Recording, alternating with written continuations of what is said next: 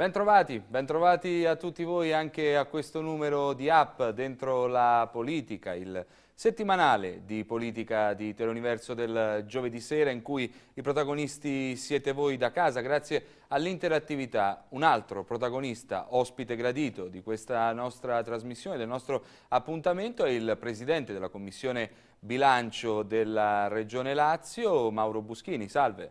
Buonasera, buonasera a tutti voi. Allora io vi ricordo prima di cominciare tutti i contatti per interagire con noi in trasmissione a partire dal numero di telefono, linee aperte per poter uh, parlare, per poter sottoporre domande al nostro ospite 0776 728050 ma c'è anche il nostro account Twitter chiocciolina app Teleuniverso in cui potete interagire con l'hashtag app2 oppure semplicemente inviare un'email che controlleremo seduta stante all'indirizzo app-teleuniverso.it. Come al solito io dico di andare a vedere quello che è il nostro desktop, il desktop della nostra grande applicazione e andiamo a vedere l'agenda della settimana con tutti i fatti più rilevanti della provincia di Frosinone ma soprattutto d'Italia. La legge di stabilità del governo Letta continua a tenere banco. Confindustria e sindacati vanno all'attacco della manovra tra chi denuncia troppa timidezza e chi accusa che a pagare sono sempre i lavoratori. A Cassino invece si sogna un collegamento rapido tra centro città ed abbazia ed il sogno può essere realizzato. In comune viene protocollato il progetto. Mario Monti lascia scelta civica, dimissioni irrevocabili, lui dice perché c'è una fronda nel gruppo al Senato che non ha gradito i suoi commenti sulla manovra. In Ciociaria intanto fa scalpore il caso lanciato un mese fa da Teleuniverso di un imprenditore costretto a non poter pagare i lavoratori per un DURC mandato indietro in quanto la sua azienda aveva un debito di un centesimo. Napolitano difende la manovra e sottolinea come si debba rimanere dentro i parametri mentre Roma si prepara all'arrivo dei Notav, cinque fermati prima della manifestazione. Deraglia un treno a Sgurgola, altra giornata di passione per i pendolari ciociari che già ogni giorno fanno i conti con ogni sorta di problematica. Sabato di guerriglia a Roma, pochi gli scontri che comunque si registrano, le forze dell'ordine evitano il peggio. 15 fermati, tra cui un ciociaro. La Regione sblocca altri 650 milioni per la sanità nel Lazio, ossigeno per chi è indietro nel ricevere i soldi della pubblica amministrazione. Sulla legge di stabilità continua la querela legata ai numeri, c'è chi parla di nuovi tagli alla sanità, mentre il PDL impone il suo diktat sulle tasse alla casa, scontrandosi con il ministro Saccomanni. Tre candidati del PD alla segreteria Ciociara accusano un commercio di tessere in vista del voto. Il comunicato non viene firmato da Simone Costanzo. Quattro ore di sciopero, questa è la misura scelta dai sindacati per dire no alla legge di stabilità. Letta dice sono stati precipitosi. Squinzi avverte non si facciano porcate in Parlamento in sede di conversione in legge del decreto. Nel Partito Democratico Ciociaro si alza il tono dello scontro, ora Buschini ed Antonetti chiedono l'intervento del Comitato regionale di garanzia del partito. Tra le misure previste nella manovra spunta un nuovo blocco della rivalutazione delle pensioni e secondo alcuni calcoli i pensionati rischiano di perdere 300 euro all'anno. Ad Anani invece i carabinieri denunciano 10 persone, tra cui l'ex assessore provinciale Cardinali. L'accusa è quella di aver appaltato lavori pubblici truccandoli. Berlusconi viene rinviato a giudizio, l'accusa per lui è quella di aver comprato senatori per far cadere il governo Prodi nel 2008. In Ciociaria invece si accelera per avere un registro dei tumori sul territorio. La Regione, su sollecitazione dell'ASL, si attiverà con il Ministero della Sanità. Allora, onorevole, tanti gli appuntamenti. Prima di entrare nel vivo vi ricordo il numero di telefono per interagire con noi, 0776 72 8050. Ho visto che le si è accesa la lampadina quando si è parlato di PD, del PD provinciale, di quello che è successo. Insomma, che sta succedendo?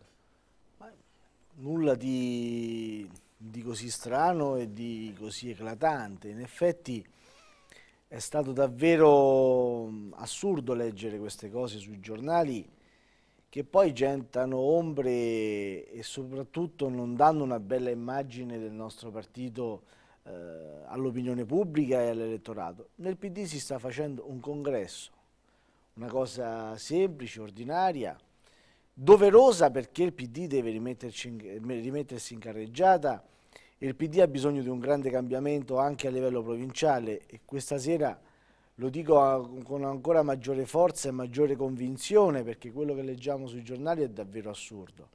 Eh, da parte di, soprattutto di chi firma cose che appunto poi le commissioni di garanzia nemmeno prendono in considerazione per quanto appunto sono irrilevanti. Si fanno diciamo, dei rilievi eh, su congressi dove c'è stato il massimo della legittimazione, dove le persone sono andate fisicamente. Quale tipo di irregolarità ci deve essere nella iscrizione di una persona che poi regolarmente e fisicamente si reca a dare il proprio voto a questo o a quel candidato?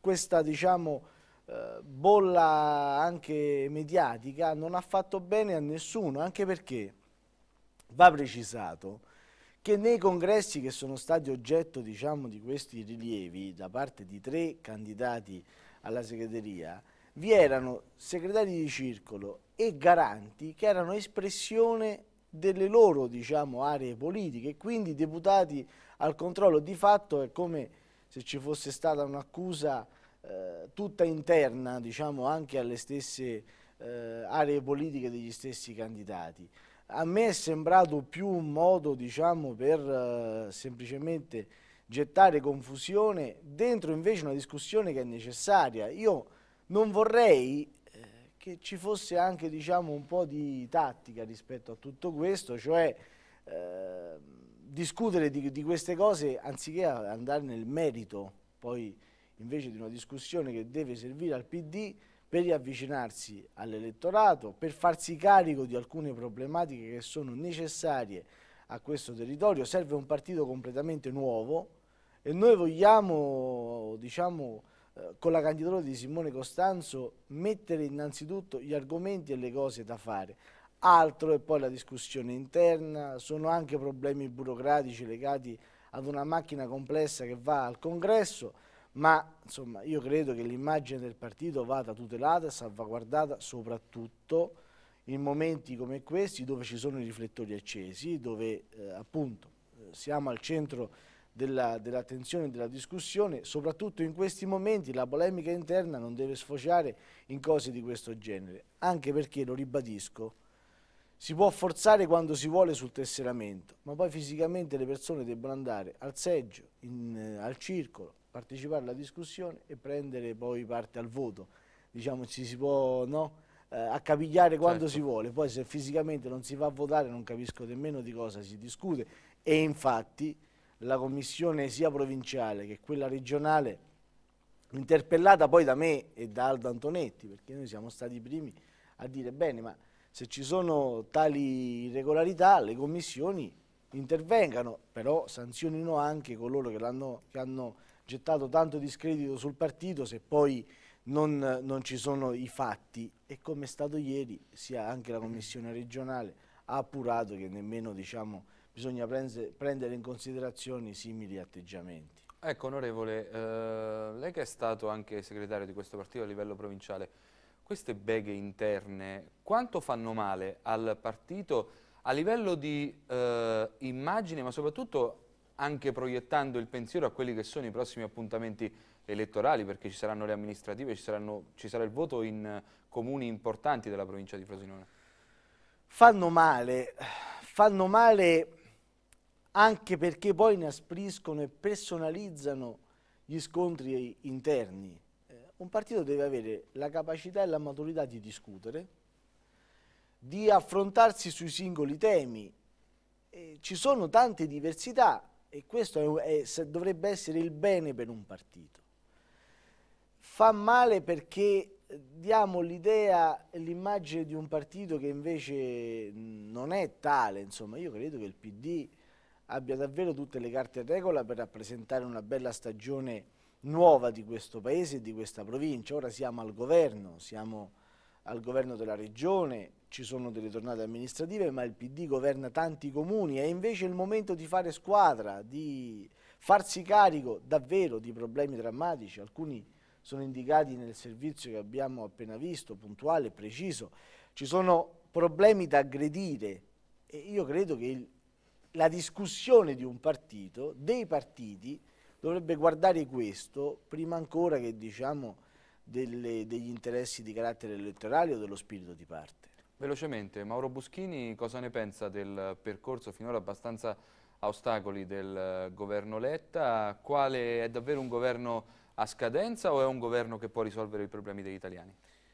È un, è un governo delle larghe intese. Ci aspettavamo e ci aspettiamo tutti di più perché io credo siamo ancora nella tempistica eh, utile per, mh, mm, no, rispetto alla legge di stabilità, incidere e vedremo ora come andrà la discussione in aula e gli emendamenti, le cose che appunto anche il Partito Democratico saprà fare. È un governo che si è reputato necessario per dare un governo a questo Paese in un momento critico e dopo un risultato elettorale che non ha di fatto premiato nessuno. E quindi io credo che bene ha fatto il PD a, a farsi carico poi di stare dentro questo eh, governo delle larghe intese, ma appunto, lo dice il termine stesso, è un governo che però non può assicurare scelte nette delle quali questo Paese ha bisogno.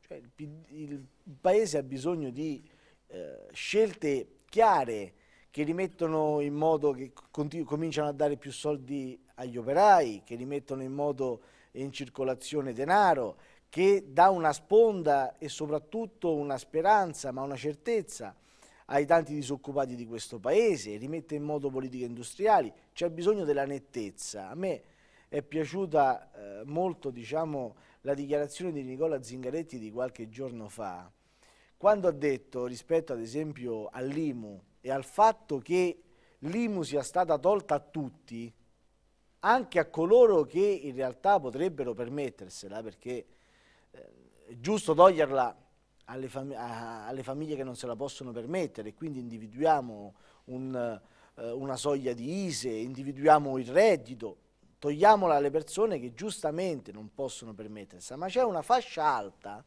che in realtà può permettersi di no, pagare questa, eh, questa tassa, che è di sostegno poi al resto del paese. Non si può togliere l'IMU a chi ha casa Piazza di Spagna e poi pensare di recuperare quei soldi eh, magari tagliando sulla sanità, poi così non è stato perché tagli sulla sanità non ci sono stati, però c'è bisogno appunto di un governo che eh, si faccia carico di fare delle scelte politiche, addirittura eh, ci sono anche dire, eh, eh, imprenditori di, di, di, alto livello, di, di, grande livello in questo paese che eh, addirittura loro dicono che bisogna anche eh, tassare eh, i, i, livelli più alti del paese, ma insomma in una tassazione che tutti ci possiamo consentire per rimettere in modo eh, il paese stesso. Ora eh, io non dico, insomma non sono tra quelli che dicono che tassando si rimette in modo un paese, assolutamente, anzi io credo che alle imprese bisogna dare sostegno soprattutto alle piccole e medie imprese, sostegno, detassazione, premiare chi assume, sostenere uno sviluppo nuovo, però io credo che appunto noi abbiamo bisogno di eh, scelte molto chiare e molto, e molto nette. Una piccola azienda non può essere tassata a tal punto che no, non, per, per, per, il costo del lavoro e per il livello di tassazione deve, eh, è costretta a chiudere, magari chiude nella morsa tra crediti non, eh, non eh, ricevuti, eh, pagamenti non ricevuti dalla pubblica amministrazione, tassazione alle stelle, l'aumento dell'IVA, il costo del lavoro, eh, insomma io credo che un paese così non lo rimettiamo in moto. 0776 728050 per intervenire in diretta, rimaniamo per così dire nell'ambito nazionale, cambiamo il nostro segmento, andiamo ora a vedere quelle che sono, eh, quella che è stata a discrezione della nostra redazione la notizia diciamo più politicamente interessante da sottoporre al nostro ospite. È un eh, articolo del Fatto Quotidiano che riguarda il congresso del PD a livello nazionale e ci parla dei quattro candidati. Allora, ho sottolineato un po' di frasi, poi commentiamo alla fine. Vogliamo parlare a chi c'era e coinvolgerlo, ma anche a chi non c'era. Questo firmato Matteo Renzi, che dice se non si ottengono i voti di coloro che hanno votato il Partito Democratico alle precedenti elezioni si perde e lui ha detto vogliamo anche i voti di Movimento 5 Stelle e PDL. Ancora Renzi ha detto sono tre le basi del nostro Partito Democratico, i circoli, gli amministratori e i parlamentari. Conteranno di più i territori e meno i dipartimenti centrali. Per quanto riguarda poi le politiche europee ha detto iniziamo a realizzare in casa nostra le riforme che rinviamo da troppo tempo prima di pensare all'Europa. Cooperlo Cooper lo ha detto, no all'autosufficienza, è solo un mito, dobbiamo fare più grande il PD, essere perno e motore di una grande alleanza civica, politica e sociale, coinvolgendo le forze del lavoro dell'impresa e della conoscenza della società che si organizza. Poi c'è stato lo scontro tra Renzi e Cooperlo, Renzi ha detto io farò il eh, segretario ma mi ricandiderò a sindaco, Cooperlo ha detto separare gli incarichi ad ogni livello. E invece gli altri due candidati, Pittella ha detto rinnovamento non è trasferire il potere dai sessantenni ai quarantenni. E nel suo documento trovano largo spazio. L'obiettivo della rinascita del Sud e quello dei giovani con uh, la proposta del reddito di cittadinanza. Pippo Civati invece ha detto basta accordi di Palazzo, il partito rimedia gli errori su Prodi e Rodotà e poi il reddito di cittadinanza, il diritto di voto alle amministrative per gli immigrati, un piano energetico orientato sulle risorse rinnovabili, il matrimonio per le coppie gay, il no agli inceneritori e il tetto alle retribuzioni pubbliche. Allora, innanzitutto, Mauro Buschini cosa ne pensa di questi candidati? Dove è orientato? A casa magari se lo chiederanno. Sì, ma io credo a casa si chiederanno soprattutto cosa vuole fare il PD, e cioè qual è lo strumento che vuole mettere in campo per dare una risposta a tanti giovani disoccupati, a famiglie in difficoltà, a operai che perdono il posto di lavoro. Io credo che il dibattito del Partito Democratico debba incentrarsi su questo, perché prima ancora di tante diciamo, definizioni sull'identità, le caratteristiche del PD, io credo che la nostra identità si fonda dentro i problemi che riusciamo ad affrontare. Renzi dice una cosa per la quale non si può non essere d'accordo, e cioè che eh, il PD deve allargare la propria base e che non deve concentrarsi solo su ciò che è oggi, ma sulla capacità di allargare il consenso. E questo è vero, però il punto è, lo ribadisco, eh, un consenso si allarga sui programmi, sulle cose da fare, sulla capacità di coinvolgere. Se il PD, prima di affrontare una discussione tutta interna e tutta diciamo, su che cosa deve essere, affonda eh, diciamo, davvero nei problemi del, de, del paese, se c'è dentro e li riesce ad interpretare.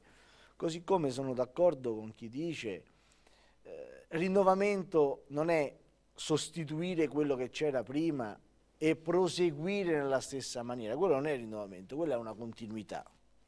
Cambia rinnovamento è cambiamento vero se chi arriva alla guida del partito, se una nuova generazione si fa carico di prendere per mano il Partito Democratico e renderlo una roba attuale, una roba che sta dentro la società, che parla il linguaggio, che va alla stessa velocità della, della nostra società, se cambia le istituzioni, se non ha paura di, di gettare il cuore oltre l'ostacolo, se appunto è un cambiamento vero, cioè una roba non solo di facce nuove, ma metodi, argomenti, capacità, talento, se il PD diventa tutto questo, allora è davvero il partito che la società ci chiede di fondare. E sono d'accordo con, eh, con Cooperlo, i doppi incarichi, le, le, le idee, diciamo, eh, guardate, io credo eh, noi dobbiamo separare la politica dal liderismo e dalla voglia di apparire, di, stare, di essere tutti protagonisti, di essere tutti piccoli leader, l'idea che ciascuno nel partito si fa la sua piccola area politica. Eh, io credo che noi abbiamo bisogno di eh, davvero creare un partito che ha un campo largo, che ha una capacità di stare assieme, dentro il quale ciascuno ci mette le proprie idee e poi anche nella selezione dei, delle classi dirigenti eh, vadano avanti i migliori, si premi il talento, le capacità. Eh, io davvero credo che questo congresso deve essere l'occasione con la quale il PD mette fine alle correnti, che però anche qui... Eh, le correnti non sono un po' l'anima di, di un partito, se non sono litigiose, non si arriva allo scontro, il eh, brainstorming, il mettere insieme tutti i cervelli, tutte le menti, tutte le sensibilità all'interno del partito non sono un po' la strada per andare avanti? Eh, io ho visto finora, negli anni diciamo, di esistenza del PD, che tutti coloro che hanno preso un'iniziativa dicendo basta le correnti, il giorno dopo hanno fondato una corrente. E da questo diciamo non, anche lo stesso Renzi no? non, non l'ha ufficializzata, ma certo. stando in campo da tanto, da tanto tempo è naturale che alla fine ha scelto questa strada. Eh, non lo si decide per decreto, nemmeno per decisione congressuale di mettere fine alle correnti. Lo si decide e lo si attua se si ha appunto la capacità di ehm, prendere decisioni su altre basi, se ogni volta che bisogna prendere una decisione c'è il tavolo delle componenti, si ufficializzano queste eh, organizzazioni. Allora io credo la selezione della classe dirigente, la nuova classe dirigente che il Partito Democratico metterà in campo deve basarsi soprattutto su questo, sulla capacità di un partito di respirare, far respirare un'aria nuova soprattutto a coloro che partecipano e che hanno voglia di stare in campo. In provincia di Frosinone siamo pronti per questa cosa, siamo pronti per uh, creare un... Uh, siete pronti per creare un partito... Mi fa, mi fa piacere il plurale. No, no, io sono super partes. eh, per creare un partito che non si divida in uh, nessuna delle scelte strategiche, poi è normale dividersi per altri tipi di scelte, ma nei momenti seri che non si divida, come è accaduto nei mesi scorsi anche.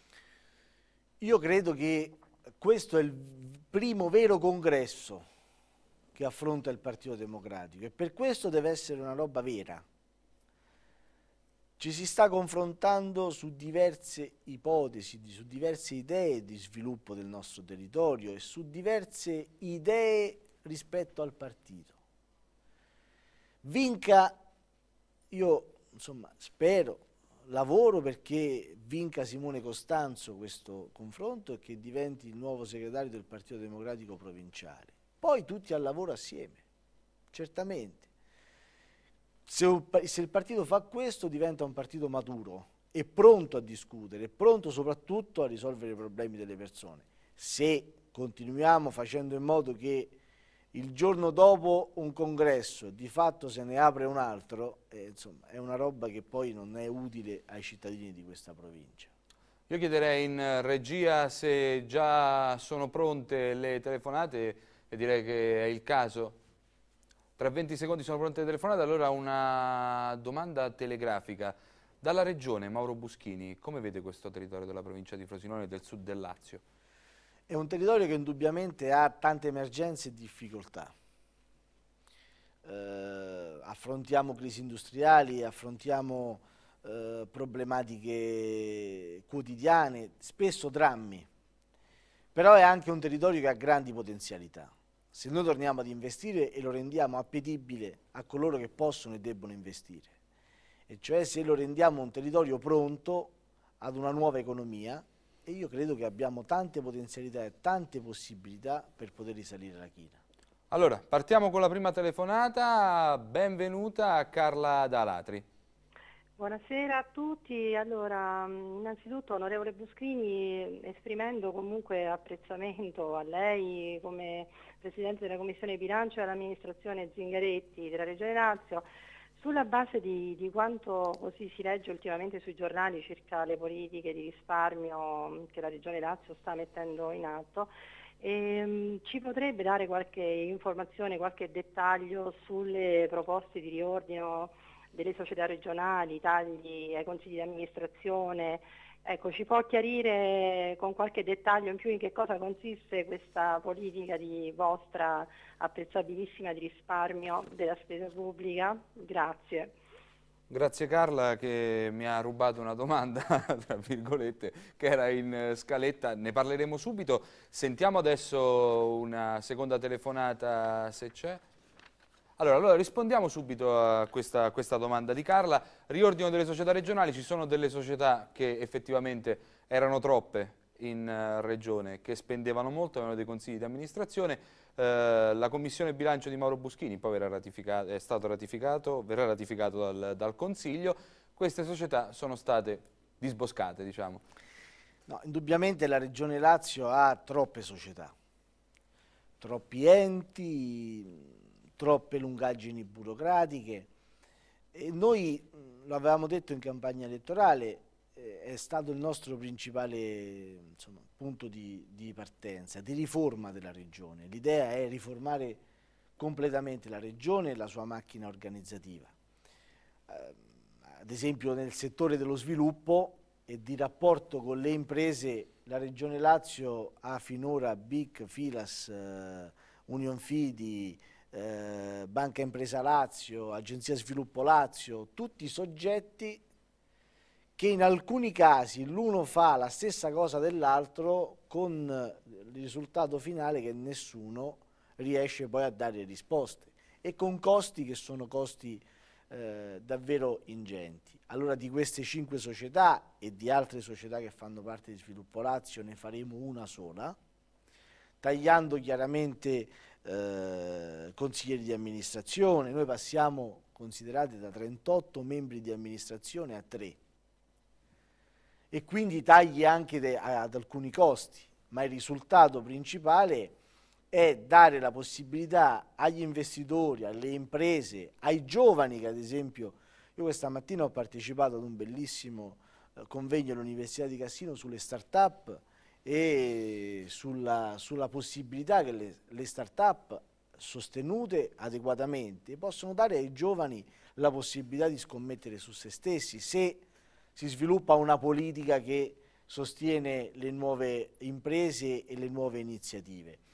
Dare ai cittadini e alle imprese un unico interlocutore che può parlare diciamo, un linguaggio da un punto di vista veloce ma anche togliere burocrazia, lungaggini, un imprenditore, insomma, stando alle cose così come le vediamo oggi, davvero prima di avere una risposta dalla pubblica amministrazione rischia di perdersi nei meandri della burocrazia. Allora un unico interlocutore che costa di meno e che può essere più efficace e più efficiente. Martedì andrà sempre in commissione bilancio la memoria di giunta e quindi l'inizio della discussione anche su un altro filone di aziende che sono quelle della mobilità. Attualmente ci sono eh, Aremol, Cotra al Patrimonio, ci sono eh, Astral, altre società e anche lì di queste tre società ne vogliamo fare una sola Faremo questo anche con altre diciamo, società e altri enti, in totale finora rispetto ai disegni di legge che abbiamo presentato noi abbiamo già tagliato 75 eh, poltrone e incarichi. Questo produce da un lato risparmio, dall'altro produce efficienza della macchina. Allora, abbiamo Giuseppe da Passo Corese che se non erro è in provincia di Rieti e siamo felicissimi. Di avere un telespettatore dalla provincia di Rieti, che non sarà l'unico naturalmente. Salve Giuseppe, benvenuto. Buonasera, eh, senta, io volevo chiedere all'onorevole Broschini, se il di Patria, il centro-destra e il centro-sinistra si sono uniti per formare questo governo avallato dal presidente napolitano, se nel percorso di governo metà maggioranza ha protestato contro la magistratura, per quale motivo il signor Letta Enrico non ha ridato il mandato al presidente napolitano? Per quale motivo ha aspettato che si ricongiungesse come se non fosse successo niente, ma manifestare contro le forze dell'ordine contro i diciamo, contro i giudici, ma non è una grossa vergogna. Per quale motivo il centro-sinistra ha aspettato e non l'ha lasciato? Perché non era strada per poter andare insieme uno che si comporta in un certo modo. Grazie. Grazie, grazie Giuseppe. Prima della risposta dell'onorevole Buschini, una comunicazione di servizio, il signor Mario da Roma che ci ha chiamato, se cortesemente ci può richiamare perché il numero risulta sbagliato o lo abbiamo sbagliato noi a prendere o c'è stato un errore nella comunicazione. Una bella domanda quella che arriva dall'amico Giuseppe. sì, indubbiamente è una bella domanda. Ma innanzitutto, dicevo prima, non è il nostro governo, e non è certamente il governo per il quale per esempio sottoscritto e tanti altri abbiamo fatto la campagna elettorale e chiesto il voto ai cittadini.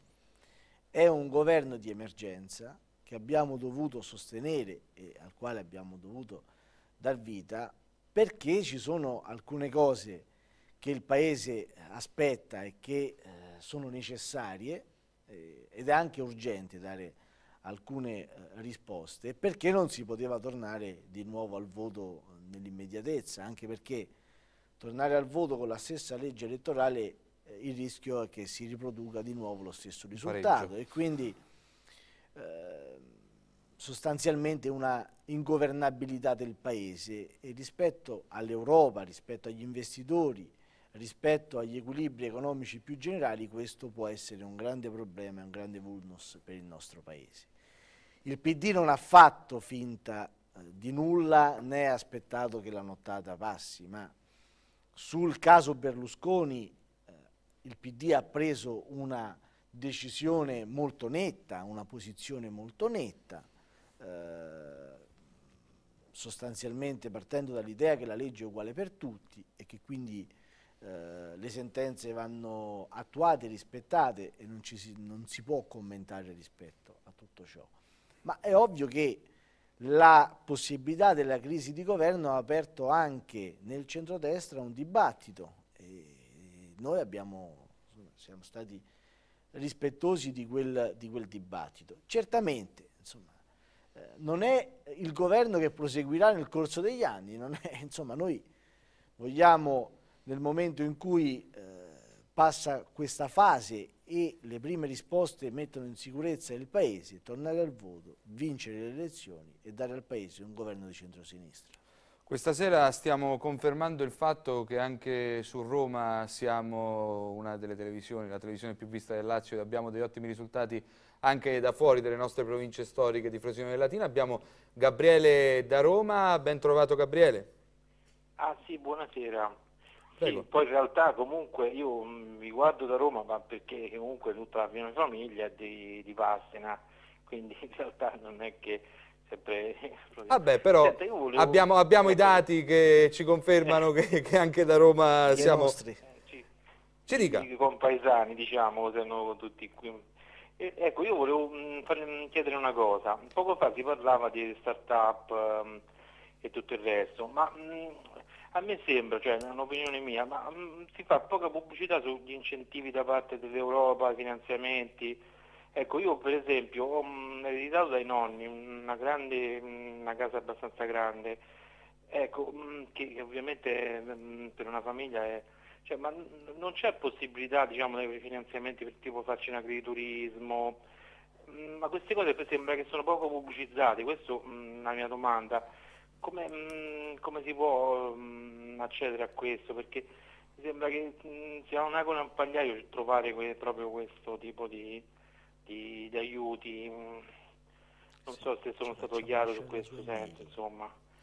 Allora, eh, se innanzitutto, signor Gabriele, ci lascia la mail eh, qui in, eh, in redazione dove ha telefonato, l'ha chiesta l'onorevole Buschini, così magari entrate in uh, contatto e c'è subito... Sì la risposta dell'onorevole. Grazie Gabriele. Ma indubbiamente questa telefonata di Gabriele pone un interrogativo, insomma io credo che eh, Gabriele abbia ragione da questo punto di vista, cioè pubblicizzare di più sicuramente meglio, partiranno delle campagne nei prossimi giorni, sono state pianificate dalla Regione e dalla Presidenza nel corso dei giorni precedenti, eh, ci sono Ora, eh, l'impegno di tanti nuovi fondi europei, ma soprattutto noi abbiamo reimpegnato quelli che rischiavano di andare che, persi. Che rischiavano di andare persi se non li avessimo impegnati eh, entro il 31 dicembre. È stata la nostra scelta quella di puntare soprattutto su start-up, su reti di impresa, sull'innovazione, sulla eh, sulla filiera energetica, cioè su quei settori che possono innanzitutto avere successo, ma che possono rappresentare attraverso un, un giusto eh, tasso di innovazione nuova, un nuovo volano di sviluppo e di soprattutto occupazione e lavoro. eh, ci sono fondi impegnati anche per fare quella tipologia di attività che Gabriele eh, ci chiedeva. Il sito della Regione è aggiornato quasi quotidianamente su questo, ma partiranno delle campagne nel corso dei prossimi giorni e come dire, ciascuno di noi attraverso la propria mailing list sta cercando di pubblicizzarle al massimo. Eh, questo in questa prima fase. Poi il nostro lavoro eh, verrà fatto assieme alle associazioni di categoria, ai sportelli dei confidi, al, alla ri riorganizzazione. Quando dicevo ad esempio eh, mettere, chiudere tutte quelle società intorno a Sviluppo Lazio e farne una sola per avere l'interlocutore chiaro, netto, noi ad esempio vogliamo riformare anche quelli che erano gli sportelli BIC sul territorio, anche in provincia ce ne sono, sono in tutte le province, ma vogliamo renderli non solo sportelli del BIC, ma eh, terminali veri della regione, territorio per territorio, eh, attraverso diciamo, una sorta di casa della nuova impresa, alla quale ci si può rivolgere sia sotto forma di incubatore eh, di, di, di, nuova impresa, ma anche per la consulenza, per eh, essere accompagnati, per essere aiutati a rispondere a un bando, prima diciamo di tutto eh, a poterli conoscere. Anche nella nostra provincia abbiamo idea, come in tutte le province del Lazio, di puntare su questi terminali in maniera tale che la rete attraverso eh, anche questi, questi uffici e eh, le associazioni, i confidi, tutto ciò che ci può aiutare e ci può sostenere nella divulgazione ma anche nell'accompagnare la nuova impresa perché il punto è anche eh, consigliare, dare consulenza anche gratuita a coloro che hanno un'idea e che poi hanno necessità e bisogno di essere accompagnati appunto nell'attuazione eh, di quell'idea stessa. Mario da Roma, ben sì. trovato. Buonasera. Salve. Prego. Posso fare... Posso? Come no? Deve. Allora. Io vorrei fare una domanda, non so c'è il signore, perché io chiamo da Roma. L'onorevole Buschini. Eh, non lo conosco. Io sono 60 anni che sto a Roma. Sì. Io vorrei fare una domanda sola.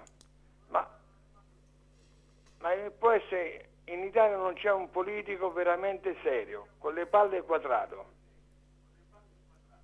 eh, eh, è, un è, un po', vaga come cosa questa, è, Scusi, è, personale. No, no, no, no, la faccio subito. No, no, no, no, no, sia di destra che di sinistra non abbiamo una persona seria. Sono tutti qua, qua, qua. Rientra nelle, nelle sfere personali, ha una domanda più, più precisa, No, no, questa sola che voglio fare io. Ah, e vediamo, vediamo di, di perché, perché non abbiamo nessuno che ci, che ci guida veramente. Ok, allora chiediamo all'onorevole Buschini, grazie Perché Mario. Perché sembriamo tutti proprio così, alla refusa, così, vai, vai, vai, vai, vai, vai. Ok. Ci proviamo, signor Mario, noi siamo qui per questo. Allora, onorevole Buschini, come si fa per Beh, guidare che, il insomma, popolo e per avere il rispetto cosa, del... Eh, sta nel solco di una richiesta di rinnovamento che il Paese... Che non arriva solo da giovani, perché il Signore ha detto sì, che sì. È da 60 anni che è a Roma. Quindi. Eh, indubbiamente sì, ma insomma la richiesta di cambiamento e rinnovamento della classe politica è una roba che non riguarda solo i giovani, ma è sicuramente un tema che il Paese insomma, chiede con, con forza. Eh, io posso rispondere dicendo che noi davvero ce la stiamo mettendo tutta. Io credo che l'amministrazione di Zingaretti, Zingaretti stesso, insomma, eh, nell'arco di sei o sette mesi abbiamo messo in campo riforme cruciali, sostanziali per questa regione e che lo facciamo con eh, grande passione, con grande voglia di fare.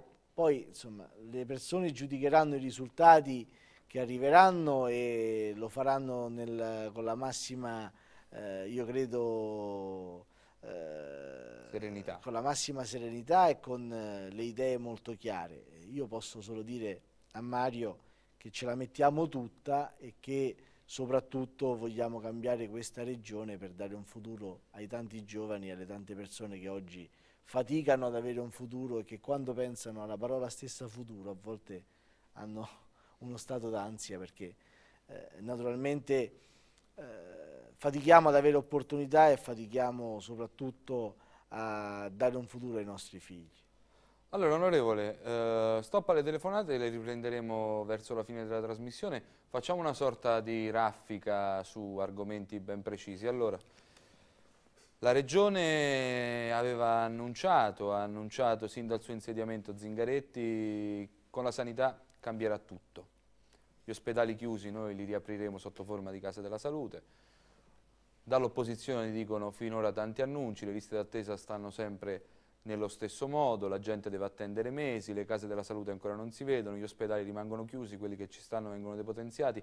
Allora, riusciamo a dare una scadenza temporale? La scorsa settimana c'è stato un appuntamento molto importante tra Zingaretti, c'era presente anche lei, ed alcuni sindaci, quelli delle case della salute. Allora, quando apriranno queste case della salute?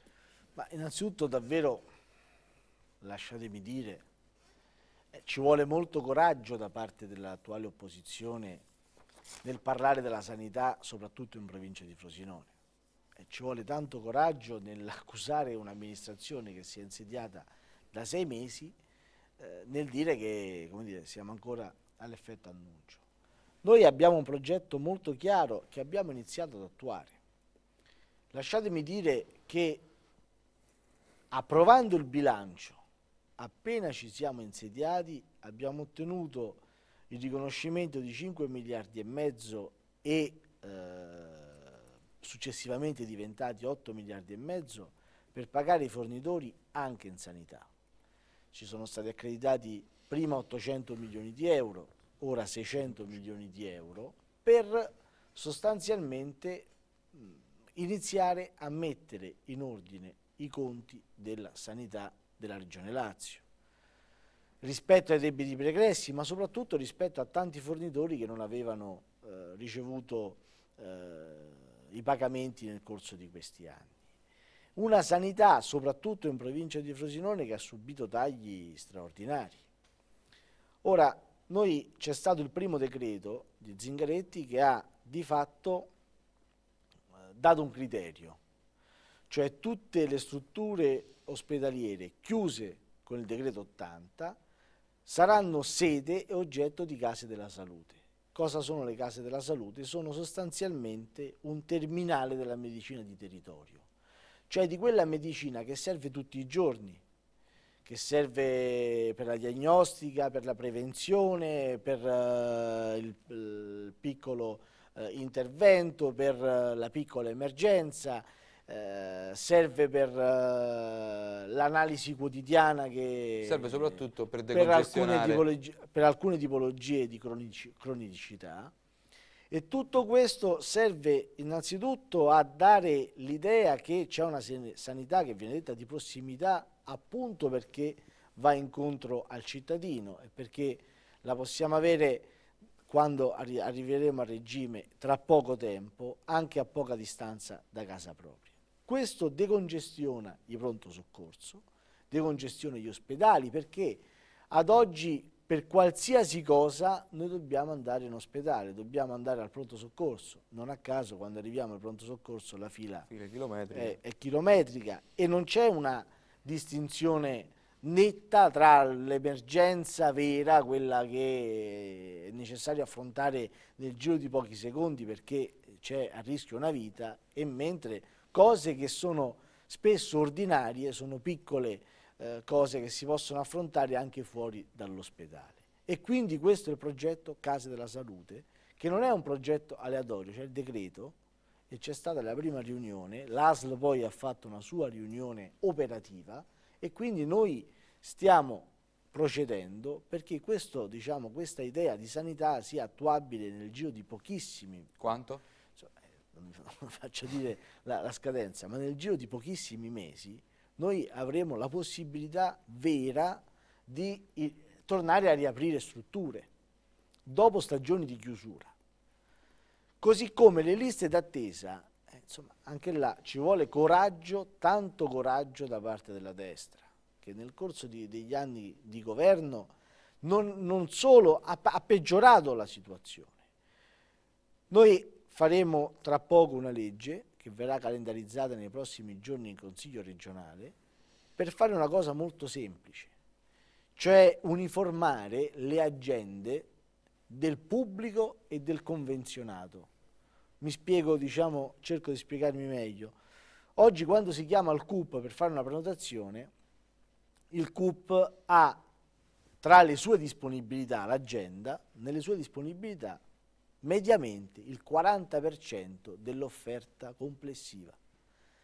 Se noi mettiamo tutto dentro un'unica agenda e quindi il CUP ha la disponibilità di tutta l'offerta che c'è provincia per provincia e complessivamente della regione, questa offerta è ovvio che si raddoppierà perlomeno. E si abbatteranno le E quindi eh, naturalmente c'è la necessità di eh, poter avere maggiore disponibilità da un lato. Dall'altro poi dividere anche là l'emergenza la necessità di chi ha un, un, problema da affrontare nel giro di poche ore, da chi invece è sottoposto a controlli che sono ordinari per una cronicità che ha nella, nella propria eh, vita e vanno distinte le cose, perché molto spesso magari un attack può salvare una vita. E, e molto quindi, spesso ce la ritroviamo messa, eh, ce la ritroviamo messa mesi, mesi, mesi, mesi, e mesi. E noi questo nel giro anche qui di pochissimi mesi è un punto che affronteremo e che io spero risolveremo, eh, quantomeno con un, un immediato taglio delle liste d'attesa e poi insomma via via cerchiamo ad esempio di tornare ad assumere perché c'è un altro punto, nella sanità della Regione Lazio non si assume da tanto tempo, per il fatto di essere commissariati e per il blocco del turnover, ma questo oltre che una carenza di personale produce un problema nelle professionalità. Me lo dicevano dei medici nel corso di una riunione fatta qualche giorno fa, eh, insomma c'è anche un problema del medico no, esperto che magari è vicino alla pensione, che sente anche una necessità, la sente già egli stesso di trasmettere la propria professionalità, il proprio mestiere ai più giovani eh, insomma io credo che questo è un punto che noi dobbiamo, dobbiamo affrontare. Eh, le nuove risorse che arrivano, il fatto che dentro i tagli diciamo, eh, noi non stiamo sacrificando i servizi e il fatto che la curva diciamo, di indebitamento si allineerà e noi torneremo ad avere nuove risorse significa che potremo fare anche degli investimenti eh, prima ancora che sulle strutture, sui servizi da dare ai cittadini. Telegrafico, se a Mauro Buschini dico viadotto Biondi, senza che andiamo a vedere tutto quello che è successo prima, perché... No, adesso però pare si sia aperta una nuova stagione, quella della collaborazione, gli interventi dell'Ardis, il eh, promesso intervento anche sulla spalletta che ci sarà nelle prossime settimane, il viadotto Biondi è una infrastruttura che è nel centro di Frosinone, oltre ai rischi che può crollare e portare giù con sé tutto un costone, c'è anche un problema per la viabilità, Frosinone è paralizzata molte volte nelle ore di punta, la mi regione... Mi permetti di dire però che sì. non si è aperta una nuova stagione. No? Noi stiamo semplicemente facendo quello che abbiamo detto dal primo minuto che avremmo fatto. Io non ho capito tante polemiche a che cosa servivano. Abbiamo detto, studiamo un progetto complessivo per risolvere davvero il problema, non per mettere una toppa dal comune hanno detto noi il progetto lo abbiamo, abbiamo tutto quanto, è inutile che fanno gli studi perché bisogna solo intervenire. No, cioè, non è che ci si presenta davanti... La, eh, io vorrei che si capisse che la regione non è un bancomat. Cioè che eh, non è che eh, chiediamo alla regione, la regione ci deve dare tutti i soldi che chiediamo. Noi risolviamo i problemi. Sapendo che c'è un, un risparmio da fare, che non è più tempo di impiegare risorse senza progetti molto chiari, netti e precisi per risolvere i problemi. Non a caso adesso si sta intervenendo sul fiume e nelle prossime settimane si interverrà sulla frana, così come avevamo detto e avevamo diciamo, programmato di fare. Lo dico al comune di Frosinone, lo dico a questa diciamo, particolare voglia che c'è di fare polemica, che le polemiche che non aiutano soprattutto nel rapporto tra istituzioni. Eh, l'idea di utilizzare le istituzioni per una battaglia politica è una roba che non serve più, basta. Le istituzioni sono istituzioni e collaborano fra di loro, affrontano i problemi e cercano di risolverli. Altra cosa è la battaglia politica, chi mi conosce sa quanto io ami poi la battaglia politica e anche no, i toni eh, quando servono anche aspri, ma le istituzioni sono un'altra cosa e non vanno mai coinvolte nella, nella battaglia della politica. Allora, eh, andiamo avanti con i nostri segmenti, adesso io andrei a sentire quella che è la domanda che ogni settimana arriva ai nostri ospiti e questa settimana arriva da una personalità che siamo riusciti ad avvicinare diciamo con una punta di orgoglio solo noi, il direttore dello stabilimento Fiat di Piedimonte San Germano Coppola. Prima di sentire la domanda che ha rivolto l'onorevole Buschini, vi ricordo il numero di telefono 0776 728050, dopo la risposta di Buschini alla domanda di Coppola ci saranno le ultime telefonate e poi ci avvieremo alla chiusura. Andiamo a sentire la domanda. Quello che posso dire è che secondo me occorrerebbe fare un sopralluogo fisico piuttosto che eh, affidarsi probabilmente a dei tecnici per rendersi conto di come in questo momento eh, è, è, la viabilità del, del, nei pressi dello stabilimento. Ricordiamo che in uno stabilimento come il nostro quando si lavora entrano circa 400 mezzi, entrano oltre 6.000 persone tra il personale dello stabilimento stabilimento e le società collegate allo stabilimento che lavorano all'interno del comprensorio. Molto spesso la viabilità è ai limiti, molto spesso alcuni mezzi che trasportano persone sono costrette per la presenza di buche a invadere le corsie opposte.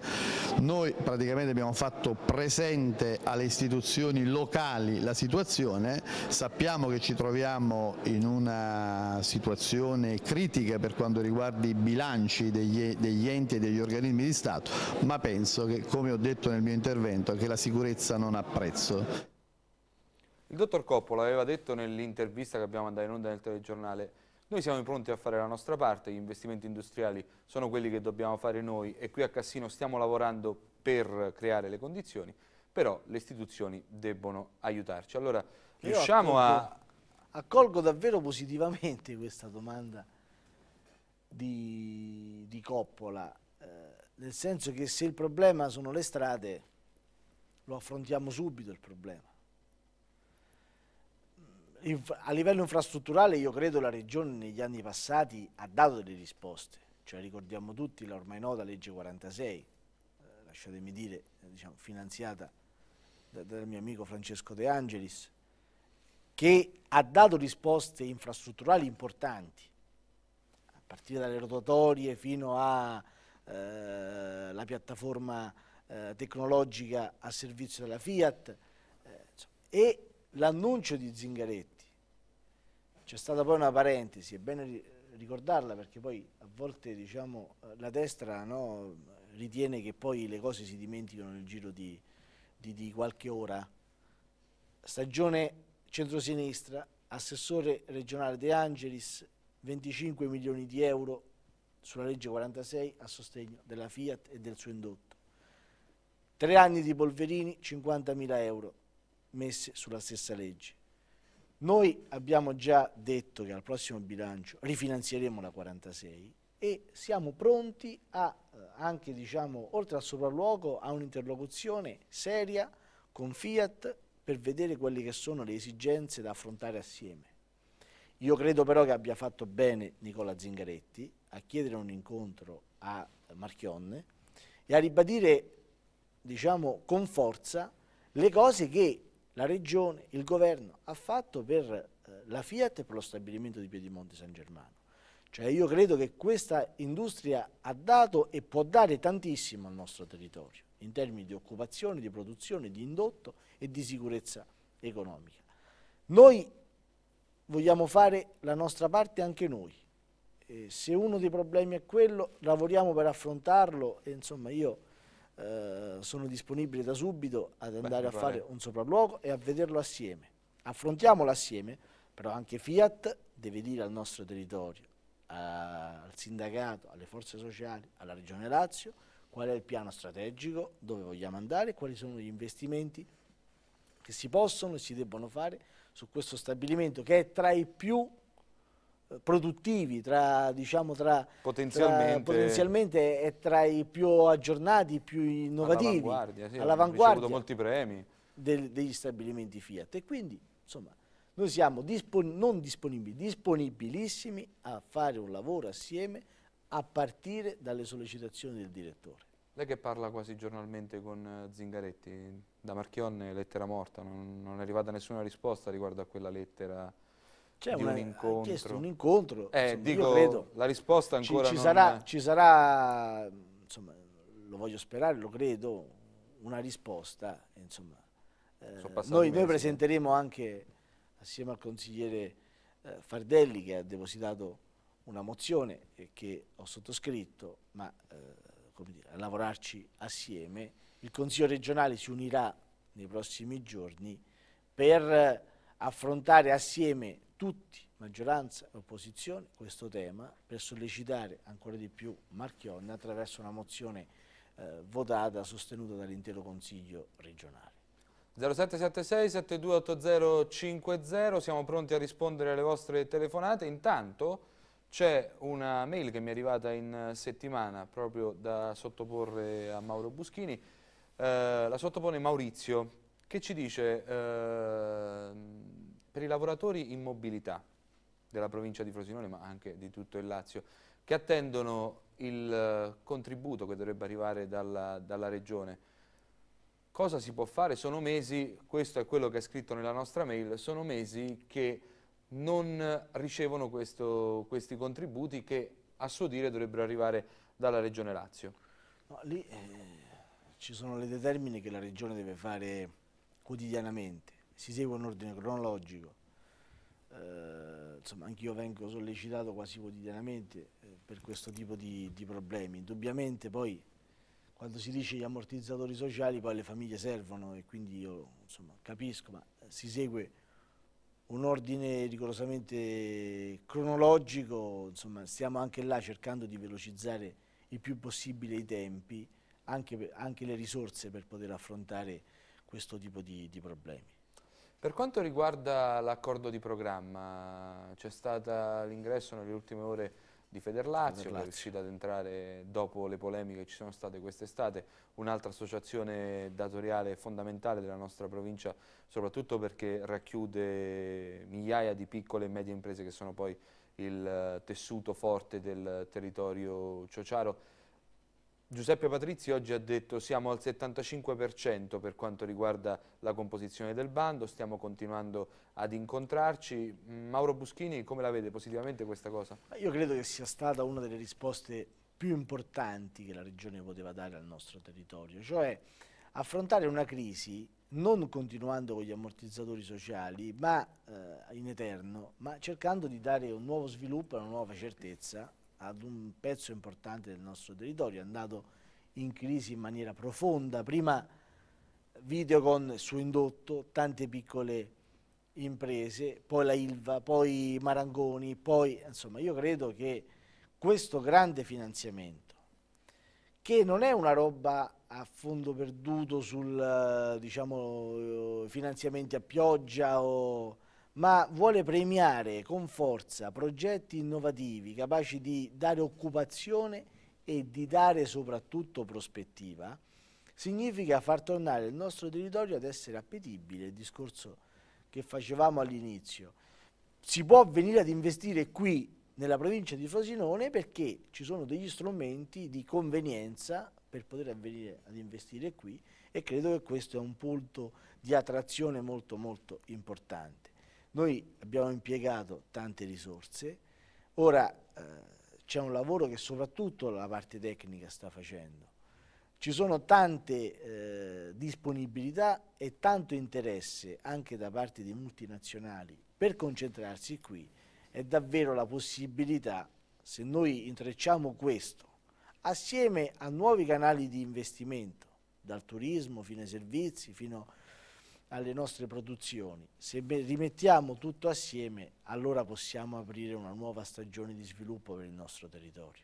Prima di salutarci, c'è qualche appuntamento che dobbiamo segnarci sull'agenda per quanto riguarda la prossima settimana in Consiglio regionale, in Regione, a parte quello che già ci ha detto per quanto riguarda le C'è il Consiglio società. di mercoledì dove ci sarà appunto la mozione eh, della Fiat e poi c'è questo appuntamento importante, l'ho ricordato di nuovo, insomma, affrontiamo da un lato la memoria di giunta sulle società del, del trasporto pubblico, dall'altro cominceremo la discussione sul riordino e abolizione delle comunità montane e trasformazione in unioni di comuni e quindi anche lì un'altra trasformazione. Anche perché martedì ci sarà una protesta molto, sotto la regione proprio delle comunità montane con i lavoratori socialmente utili perché anche lì c'è una questione abbastanza spinosa, Insomma, scabrosa. Lì, sì, è una, è, una, è una, questione che noi ci siamo davvero eh, ritrovata eh, e che stiamo cercando di risolvere, ma abbiamo bisogno anche di strumenti legislativi perché non è che gli errori fatti prima no, debbono essere poi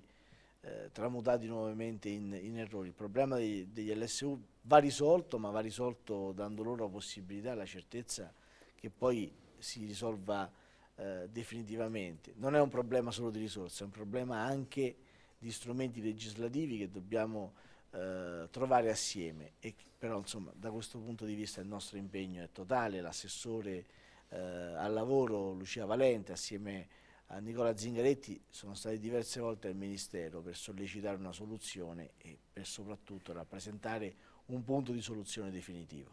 Bene, termina qui il nostro appuntamento, grazie, grazie a tutti voi a casa, se siamo la prima televisione del Lazio è soprattutto merito vostro, ma soprattutto grazie all'onorevole Buschini per aver passato quest'ora in nostra in vostra compagnia. Grazie a voi, grazie a tutti i telespettatori. E noi ci vediamo giovedì prossimo.